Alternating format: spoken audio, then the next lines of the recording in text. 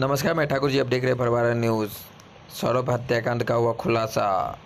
हत्यारा ऋषिकेश गिरफ़्तार आपको बताते चले कि महज तैंतीस सौ रुपया बकाया मांगने पर राजा राम शाह के पुत्र ऋषिकेश ने किया हत्या। वहीं सिटी एसपी ने क्या कहा, चलिए सुनते हैं। नवंबर को सुबह में एक लाश मिलने की सूचना जो है सिंगवारा थाना को प्राप्त हुई थी। तो सिंगवाड़ा थानाध्यक्ष अपने थाना के ऑफिसर्स एवं बल के साथ वहाँ पहुँचे थे और सबका पहचान कराए। तो सबका पहचान सौरभ कुमार कृष्णकांत झा के पुत्र के रूप में, वार्ड नंबर सात के निवासी के रूप में हुआ। इसके पश्चात हमारे स्तर से भी घटनास्थल का निरीक्षण किया गया, एसडीपीओ सदर भी वहाँ पहुँचे थे।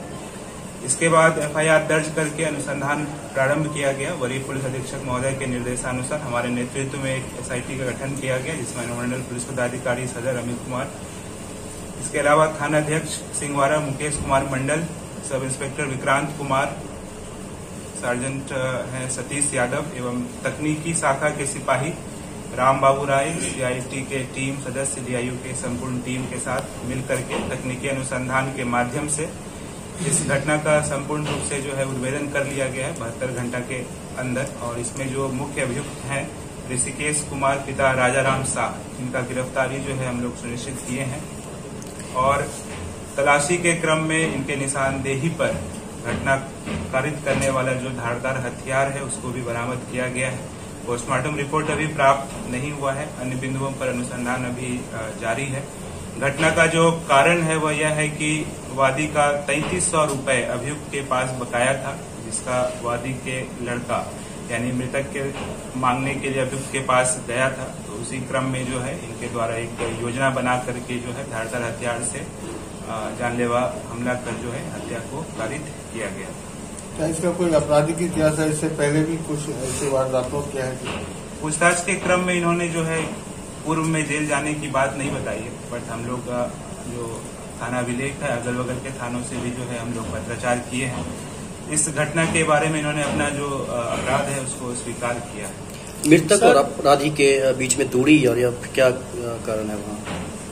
उन दोनों का जो मतलब नजदीकी है या नहीं मतलब रहने वाले तो मुझे लगता है एक ही गाँव के हैं ये लोग एक ही वार्ड के रहने वाले। मोहल्ला अलग अलग है। बट जो मुख्य कारण है वही पैसों का लेन देन का मामूली तैतीस सौ रुपये का विवाद था जिसमें ये हत्या के पीछे जो उसने प्लानिंग किया क्या प्लानिंग थी कितने लोगों से उसने प्लानिंग किया ये हत्या को अंजाम देने के लिए?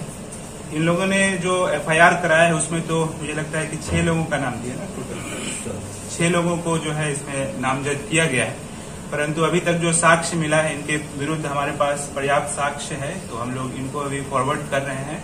और जो कॉल डिटेल्स है वो सभी हम लोग जब प्राप्त कर लेंगे तो बाकियों की संलिप्तता पे भी जो है हम लोग आप लोगों को जो है समय जानकारी देंगे। मृतक को किस तरह से ले गया गया फुसला के ले गया या उसके घर में ही हत्या करके मृतक जो है अपने गाड़ी से गए थे क्योंकि घटनास्थल पर जो हम लोगों ने निरीक्षण किया था तो गाड़ी भी उनका उपलब्ध पाया गया था। जिला परिवहन पदाधिकारी के कार्यालय से गाड़ी का सत्यापन भी किया गया। तो मृतक अपने स्वयं गाड़ी से चल के गए थे। आपस में बातचीत था उनको पैसा को वापस करने के लिए जो है बुलाया गया था। तो पहला फैसला करके प्लान बना करके क्या पकड़े गए आरोपी से जो आप लोगों की पूछताछ हुई उसमें क्या उन्होंने कुछ बताया है कि वो हत्या को कैसे अंजाम दिया अकेले दिया या कुछ और भी लोग थे उनके साथ? इनका तो यही कहना है कि ये घटना को जो है वो अकेले कारित किए थे बट हम लोग केवल उसी बिंदु पर तो नहीं मान के अनुसंधान करते हैं और भी तकनीकी साक्ष्य हम लोग संकलन